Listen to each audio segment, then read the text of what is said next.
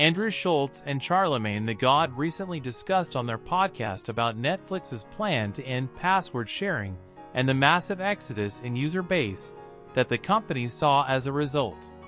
Netflix's decision to crack down on password sharing was a controversial one, and it sparked a lot of debate in the online community. You can't piss off the base, man. Talk to me. Can't piss off the base. So basically, what happened is everybody obviously shares passwords, and um, I think Netflix is coming close to running out of people to sign up. In other words, you know, they've reached the limit of people that have computers or TVs that can watch uh, things on Netflix. So what they got to do is find a way to increase revenue still. And they can do that by stopping people from sharing. So if one account has served, you know, six people, they can technically get five more people to sign up if you can't share passwords. Yeah. And uh, there was just a huge backlash on it. And you know they they basically rescinded. They're like, okay, we're going to let you share the passwords, and it was the right move to make uh, on their part. Yeah, I'm not mad at it. Uh, because to me, this is just like shutting down bootlegging.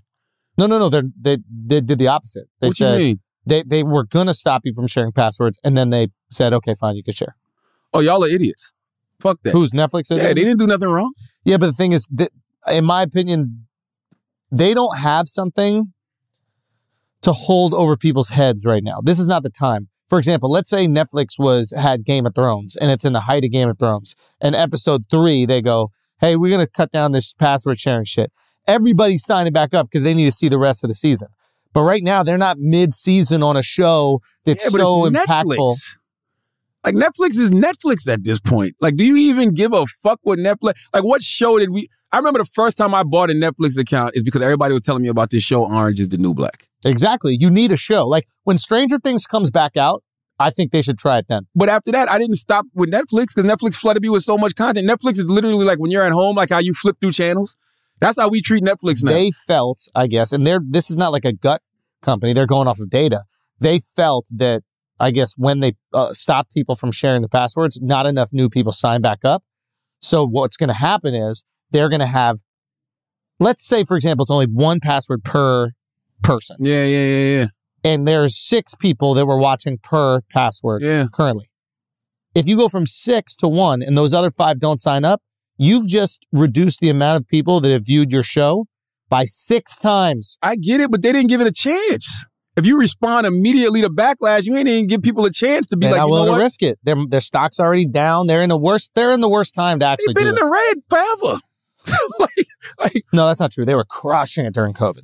they were. Oh my god, they were. Oh, I didn't like know that. I thought I thought Disney Plus popped up during COVID. This could Uh, Disney also, but they were just crushing during COVID. It makes sense. Everybody's home. They're Everybody's watching shit. home. Yeah. Yeah, I don't. Uh, eh, whatever. I mean, listen, man.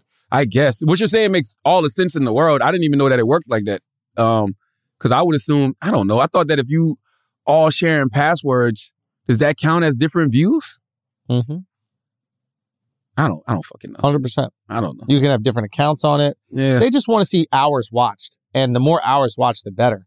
And if people are not watching on them, they're going to be watching on someone else. I mean, they're trying to compete with YouTube. I mean, that's just the reality of the matter. What, what bugged me out when they said with a number of subscribers threatening to cancel their subscriptions, I don't think they're trying to compete with YouTube, bro. Oh, of course. Nah, just- it- you you know why? Because here's the thing about YouTube, and I know YouTube does have YouTube Red, which is subscription based. Man, when you got 55 plus million people paying 40 fucking dollars a month or whatever the fuck Netflix costs, 15 or something. or whatever the fuck, like that's a different ball game. Like it's a it's a different ball game when people are paying for a subscription and when people are watching something for free. Don't get me wrong, they're all competing for your time and your eyeballs. YouTube made more money than Netflix they did? Yeah. Oh, I don't know. And more hours watched. Di- I believe the more I was watching, but also YouTube. YouTube just made more money in ad revenue than Netflix. They This is the first time. But but, but, you, but Netflix don't make their money in ad revenue. no, no, they made more money in ad revenue than Netflix YouTube did in made in subscriptions? subscription. Oh, Yeah, because YouTube Red is done. They're not doing the subscription thing. You could do the YouTube so you don't have the ads Yeah. and that kind of stuff. But like, it's inevitable. You can't beat YouTube. It's just like trying to say like you're going to beat Google or something like that. It's not possible. But what what they're worried about is eyeballs, right? And if the time watched is going to these other platforms, then less people are going to go. I need this subscription. well, the problem is, Uh, salute to YouTube. I don't think the problem is YouTube in this situation. I think the problem is all these other fucking streaming services. Uh, they're, they're also Disney Plus with 55 plus million. It's HBO Max with 55 plus million. Yo, Son, on the low, is the goat, bro. on the low, Paramount Plus. Oh, So that's all it takes. It takes one show. It takes one show to put you, s- on. You see what Yellowstone's doing for Paramount exactly. Plus? And that's and that's what Netflix I think maybe is starting to learn because what Netflix tried to do is replace television. They're like, we're just gonna have so much content, we're gonna flood the whole thing. We got different shows for everybody. And then YouTube came or uh, HBO came around and they were like, we're just gonna continue making great shows that you have to watch. And you know what we do? We fucking watch. Euphoria comes around, everybody's watching. That's it. Last of Us is on right now. Incredible. Everybody's fucking watching. YouTube's got it locked. And then also uh Dis what's that? HBO.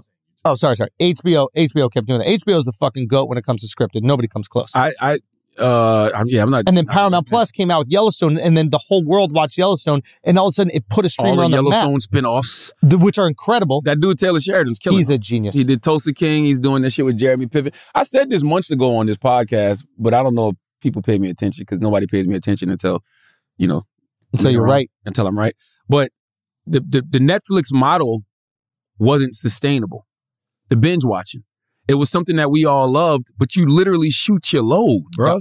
Like if, if I give you a season of a show and you can watch all 12 episodes in a night, I have I have nothing. But if you're HBO and you give me 12 weeks of Mhm. euphoria, Mm-hmm. all you gotta do is give me three of those a year, and you covered the whole year. Exactly. It's about owning the conversation. We were That's talking it. about this, and that's what HBO. Now the thing is, in order for someone to wait a week to come back to a show, you need to create really good shows. Absolutely. And what Netflix has gotten by with is creating not as good shows, but Giving you the binge shit. they give you a cliffhanger so you just keep watching. yeah. There's a lot of shows on Netflix that people wouldn't watch if you had to wait a week.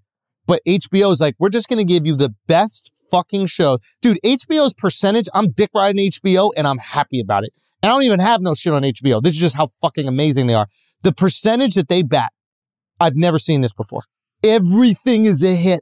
House of Dragons comes on, bang. well, it's because they take their Last time. of Us, bang. Euphoria, bang. And this is historically. This isn't like For years. yeah, yeah, yeah, yeah, Sopranos, yeah, The Wire. yeah. I mean, it's just non fucking stop. And it really, they invest in creators, they invest in great showrunners, great writers, and they execute. And they also invest in talent. Like if you notice with HBO, if they like you as an actor, you pop up in their other shit too. Yeah, yeah, yeah, yeah, yeah. Like you yeah, almost yeah. become like a star of HBO. Yeah, Remember when we were doing all the MTV shows and we would just do five different ones? absolutely. You become like a star of the network. But they fucking got it locked. And I think at the end of the day, that's what people want. They want stories that they can follow. They don't need all the content in the world, which is what Netflix is doing. They want Stranger Things. That's what Netflix did great. Follow and, and then you create cultural moments with that. So I think Netflix should shrink the amount of things they're producing and just focus on great quality. According to Schulz and Charlamagne, the plan was aimed at preventing people from sharing their accounts with friends and family members, which Netflix saw as a threat to their revenue. However, the plan had unintended consequences, as many users who were sharing their accounts decided to cancel their subscriptions instead. Schulz and Charlamagne noted that this resulted in a significant drop in Netflix's user base and caused the company to reconsider its stance on password sharing. The two hosts also discussed how Netflix's strategy of releasing entire seasons of their shows all at once has impacted the staying power of the shows in the long term. They noted that while the approach has made the shows more bingeable, it has also resulted in a rapid decline in viewership once all the episodes have been released. Charlamagne pointed out that this approach has made it harder for shows to maintain their popularity over time and to build a loyal following. He said that this is because viewers are able to consume all the episodes of a show in a short amount of time and then move on to the next one, which doesn't allow the show to have a lasting impact on their lives. Andrew Schulz added that the release of entire seasons all at once has also made it more difficult for shows to generate buzz and anticipation, which is important for building a dedicated audience. He said that viewers are less likely to discuss and share the show with their friends when they have already consumed all the episodes. Andrew Schulz and Charlamagne Tha God also discussed how Netflix's competitors, such as HBO, could take advantage of the company's current position. With the recent exodus of users from Netflix, it presents an opportunity for other companies to gain market share and attract more subscribers. One way that HBO could capitalize on this situation is by offering a more traditional approach to releasing shows.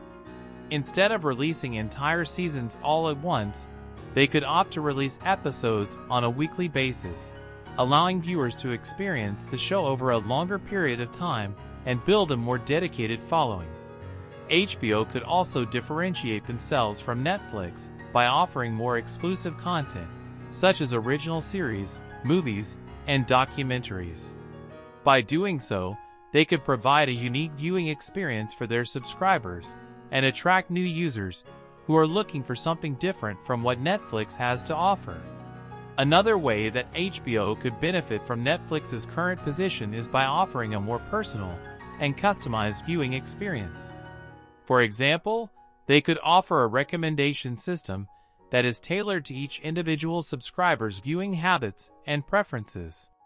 In conclusion, Andrew Schulz and Charlamagne Tha God's discussion about Netflix's plan to end password sharing and the impact it had on their user base highlights the importance of understanding the unintended consequences of business decisions.